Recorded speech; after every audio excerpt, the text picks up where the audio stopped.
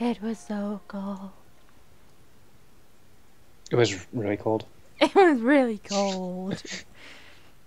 the rain you go. became heavier that afternoon, accompanied by rolling thunder.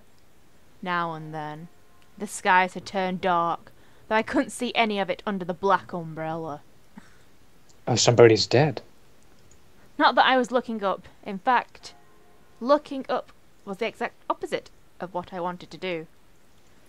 I stared at the grass beneath my feet, unable to look at the people weeping around me. All I could see was the damp grass underneath my feet. Only the monotone eulogies that floated through my ears reminded me that I was at a funeral. It was only when the speeches ended that I finally was able to raise my head.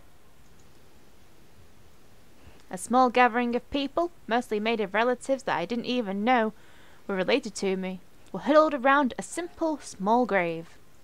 For a while, all I heard was the sound of raindrops on umbrellas. If it weren't raining, everything would probably be in heavy silence. I looked beside me, where my father was standing and holding up a large black umbrella for our small family of three. His face was emotionless, a strange sight next to my weeping mother. I wondered what was going through his mind. After all, etched into the small, into the small. I've ruined the moment. I ruined, You ruined it. I ruined it. Ruined it. After all, etched into the smooth grey tombstone before us was his father's name. My grandfather, the one who raised me like his own daughter, had passed away that day. My god, they buried him quick. They did, really. The ceremony was small. Only close family were allowed to come.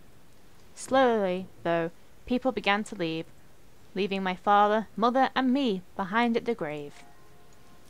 A man dressed in a clean black suit under the uniform black umbrella of the funeral attendees walked towards us, introducing himself as grandfather's lawyer.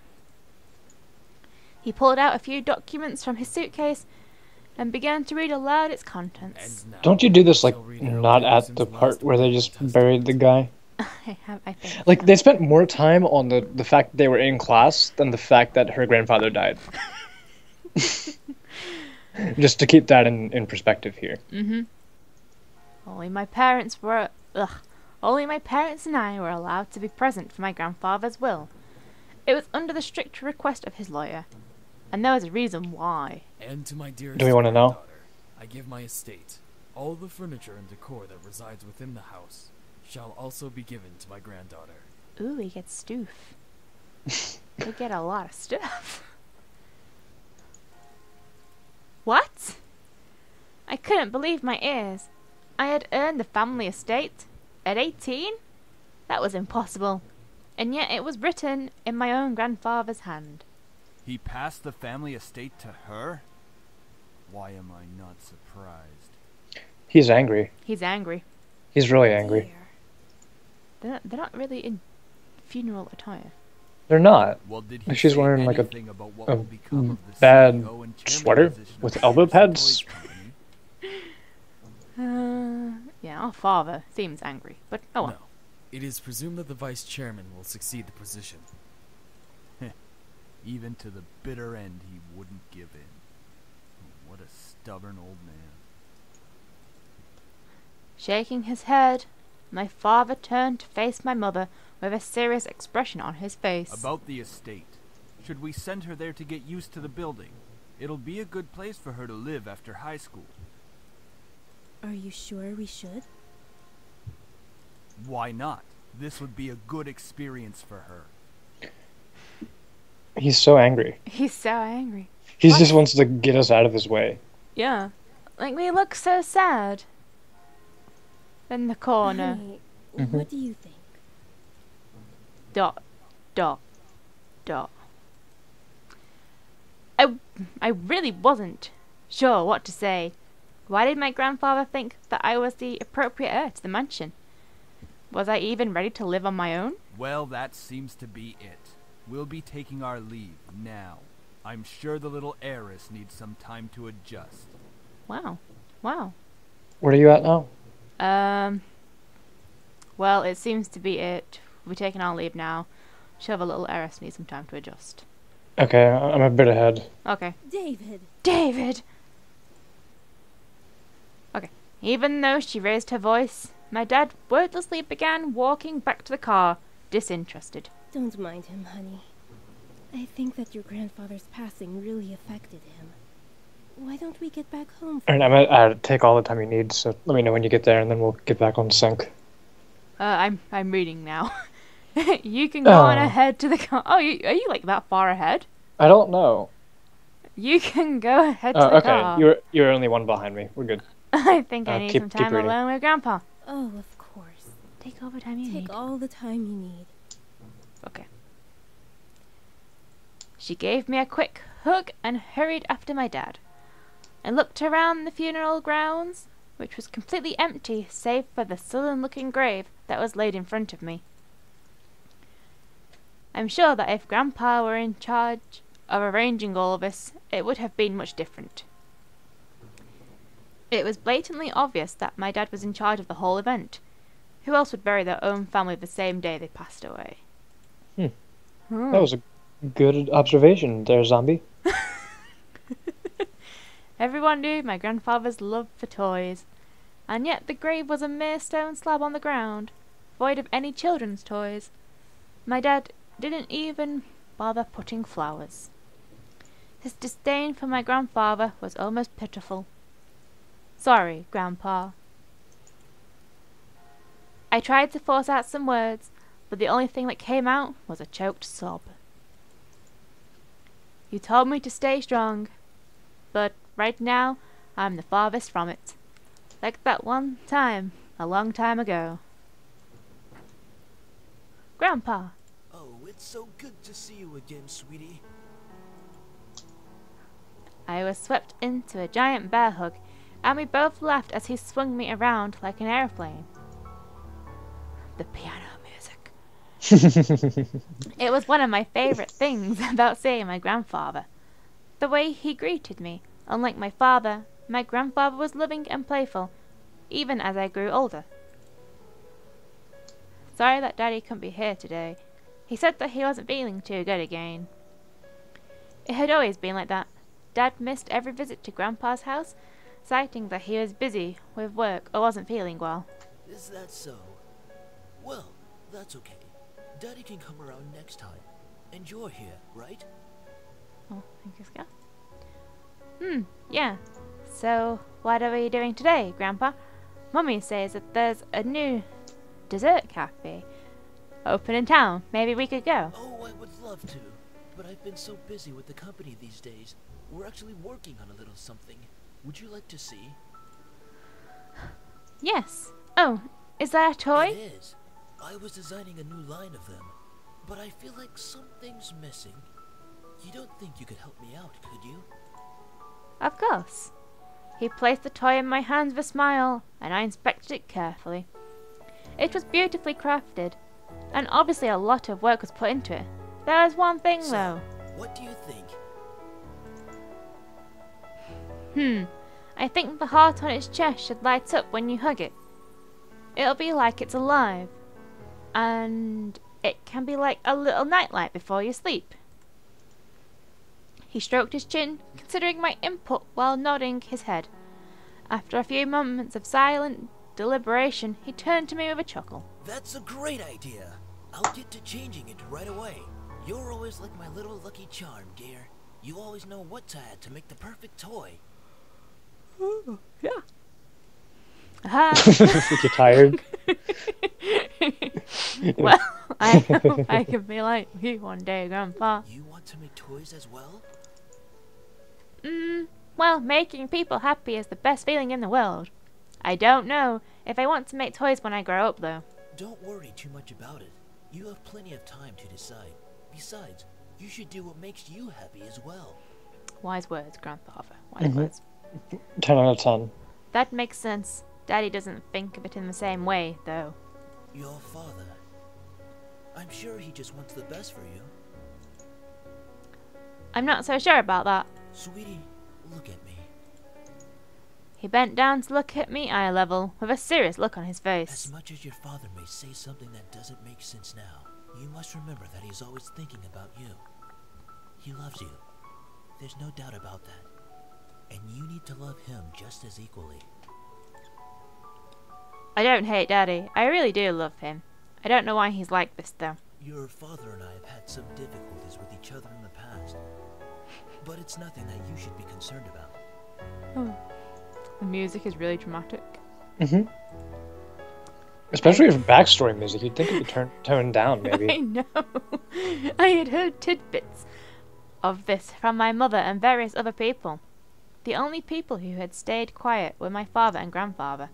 Both of them refrained from saying a word on the subject matter, but it was clear that when it, whatever happened set up a wall between them. It's hard, though, trying to pretend as if nothing were wrong. However, no matter what, you have to stay strong. You're a big girl already, and, well, there'll come a day when it seems like it's you against the world. But always remember that your family and friends will be here with you. Beautiful. Daddy, Mommy, your friends at school, me. We'll stand together to get through it. How can you be so sure of that? Because you'll be right here. Here. Oh my. You just pulled out like the whole. Did you enjoy that Yeah. bit reading? he, point, he pointed his finger to my head first, and then pointed at my chest. So stay strong. Promise. Oh, I thought you were making a joke. No! no! I just read what's on there. I didn't look ahead. I thought you were making like satire. of it. Where are This you up isn't to? nearly as bad as I thought it would be. No. Um, where are you up to? Uh, he pointed his finger at my head Oh, first, okay. and then pointed at my chest. So stay strong, promise? For a moment, he looked almost sad, pleading. But as quickly as it had come, the expression disappeared from his face, and he was all smiles once again. Promise! We're so cool. Upon mm-hmm. hearing that, Coolest. Grandpa let out a great burst of laughter and stood up. All right then. Enough of that. How about I whip up some special homemade dessert? I know I can't accompany you at that new cafe, but we sure can talk and eat while I cook and do some paperwork. Well, He's gonna cook his dessert. cook his dessert, yeah. Mhm. Homemade dessert. I'll race you to the Hey, kitchen. Slow down there. I'm not what I used to be.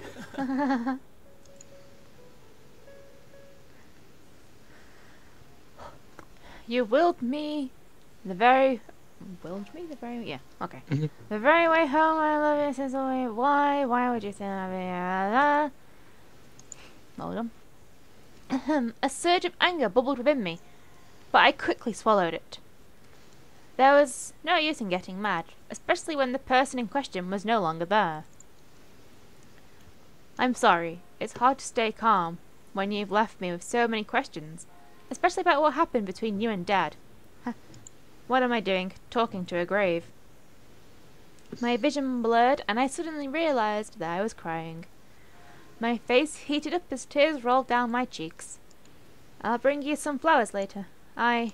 I miss you, Grandpa. I'll try my best to fulfill my promise I gave to you, even if the world might be turned against me. I left the grave, wiping my tears hastily so my parents wouldn't see. Well, it's time to head back home. I'll cook up your favorite lasagna when we get home, okay? Yay. Notice how, again, it is not raining. Thanks, Mom. Mom. However, my dad didn't speak the entire drive home. I wanted to talk to him, but after his moment at the funeral, I wasn't sure if it was a good idea. Their car is almost on empty. It's about time we took off those dreary black clothes. They're also on FM 96.11 Superstation.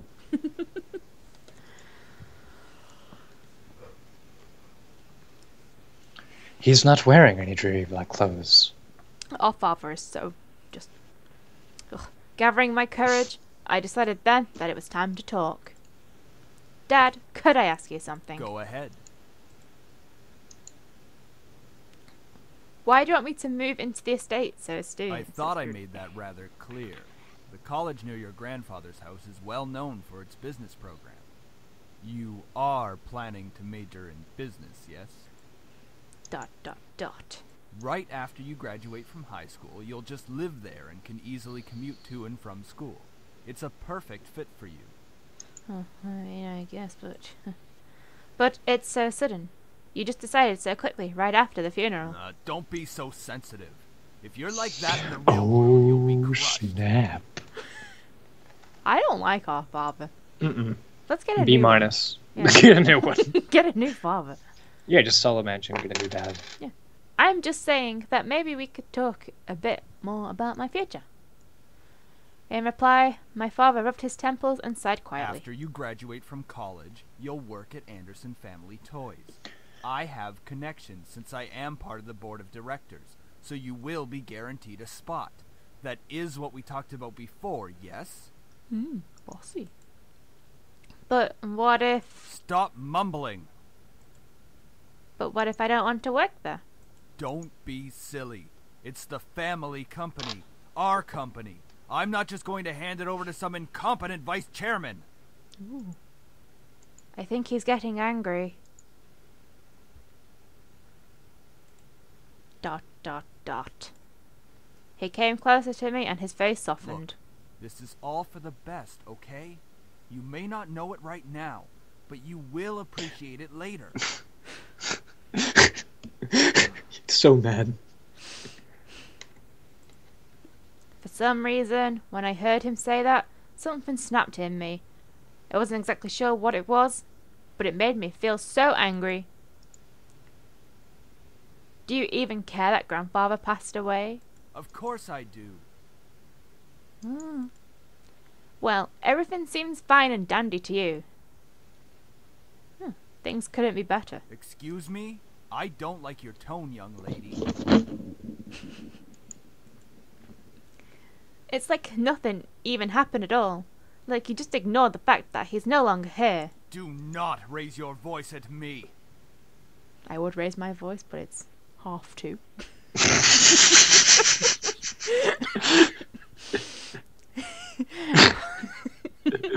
what did he What did he ever do to you to deserve this? My father, his face hardened, crossed his arms and erupted in angry laughter. Ha! You sure place him upon a pedestal. Like he's some kind of venerated god or something. It makes me sick. Is that it? Are you happy seeing grandfather dead? While everyone was grieving, you were holding yourself back from laughing in everyone's faces? Did you just feel. Ugh, I can't. I've, I've ruined the moment again. Did you- this is what I'm like when I read at Higurashi. I just like cut it all out. Just... Oh, I thought you were just really good at reading. No. did you did you feel just a bit happier seeing him lie in the graveyard? Oh no. He smacked You his- don't know anything! Running your mouth like somehow you know everything that went on, when you're just a little girl that doesn't know how to keep her mouth shut! I don't like him. You did not know my father! You did not know what he This was guy's capable mean. of. He is. Dot dot dot. Is everything all right? What happened? Nothing. I'm not hungry. I think I'll just go upstairs. Honey, wait! Mother, kill him.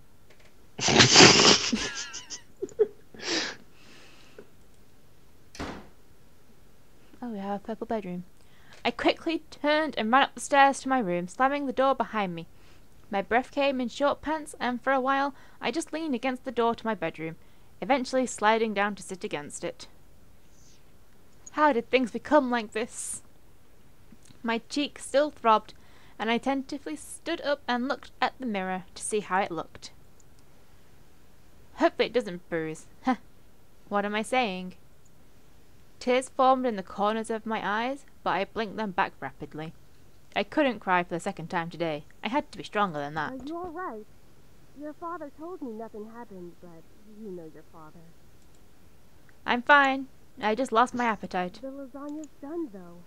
And I don't want you skipping any meals. Are you sure? Yeah, don't worry about me, Mum. I'll come downstairs later to eat. You're not telling me the whole story. I I just don't want to eat right now. Please, dear. Tell me what's going on. Mother, you please. Tell me why you're doing like this. Dot dot dot. Was I wanted to tell her. A part of me was screaming to tell her what Dad had done. At the same time, I knew she couldn't fix anything. Besides, I was moving out regardless. I remained silent, letting the event remain in the past. Well, I'll leave your food on the table if you want to eat it later. Finally, my mum left me alone. It was strange to think that she was only a few inches away from me, only separated by a single wooden door. I really didn't know what to do. I needed something to do, anything, to get my mind off just what happened. Anything would be better than thinking any more about the pain still radiating from my cheek. I was probably going to move into grandma uh, into my grandfather's house uh, tomorrow. Huh, quick. I should Mhm. probably pack my stuff so I would be prepared for tomorrow. Yeah, that was a good idea. I should start packing. Good to know. I opened the Mhm. closet, rummaging around for a while before I finally found two large bags. Pulling them out onto the floor in, of my room, I then began to empty my drawers and cabinets so that I could bring all my things with me. I didn't have much to bring, other than just clothes and some toiletries. It was kind of bizarre that I didn't have many personal belongings. Whew. It wasn't like my luggage was completely devoid of them, but I certainly didn't have anything in my room that I would miss if I just suddenly left the house. I shook my head to rid myself of those thoughts. If it were going to be my new home, it would have to feel like it, one way or another. I was going to make it a home.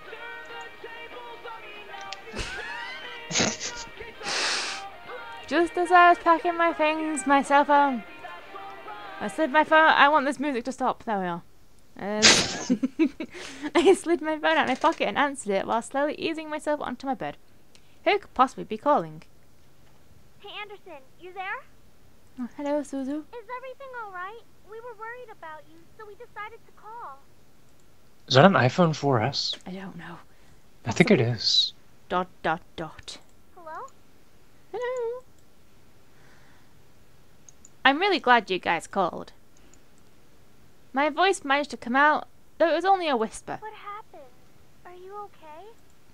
Well, I slowly began to tell them about the funeral that afternoon. A small silence followed when I was done recounting what happened. Only, to my relief, ah, and to my relief, Naomi finally spoke up. I can't begin to imagine how you must be feeling right now. I'm so sorry. Do you want us to come over right now? No, it's okay. My dad isn't in a good mood, so could we just keep on talking on the phone like this? Of course! We'd stay on the phone until the crack of dawn. Right, Suzu? Yeah. We're always here if you need us.